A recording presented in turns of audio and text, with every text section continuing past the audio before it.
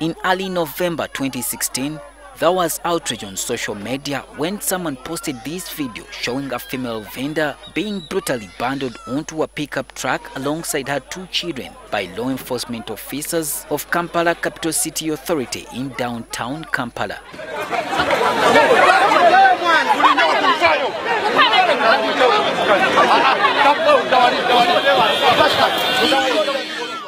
The woman was arrested for allegedly vending on the street without a license.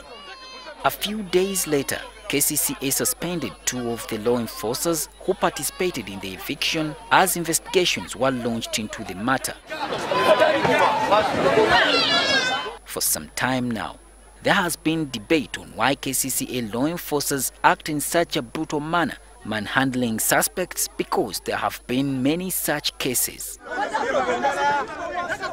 According to the Minister for Kampala, Beti Olive Namisango Kamya, corruption among law enforcers has led to such scuffles. They work under very hostile environment, yes, but some of that is promoted by their own corruption. Because you take money from people, and when I crack the whip, you go and send people off the street.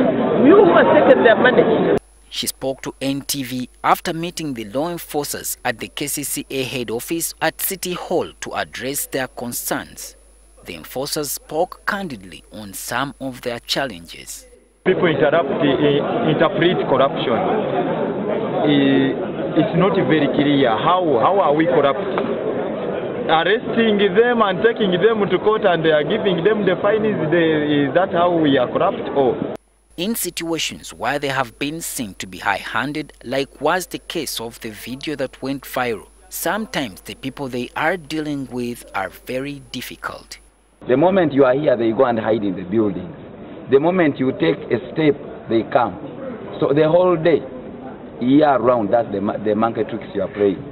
The minister vowed to take action on corrupt law enforcers ask the law enforcement people to keep away from corruption because the whip will crack on corruption. But a few days ago, while reacting to the viral video, Kamya seemed to agree with the law enforcers, saying that sometimes they are caught between a rock and a hard place in handling some people.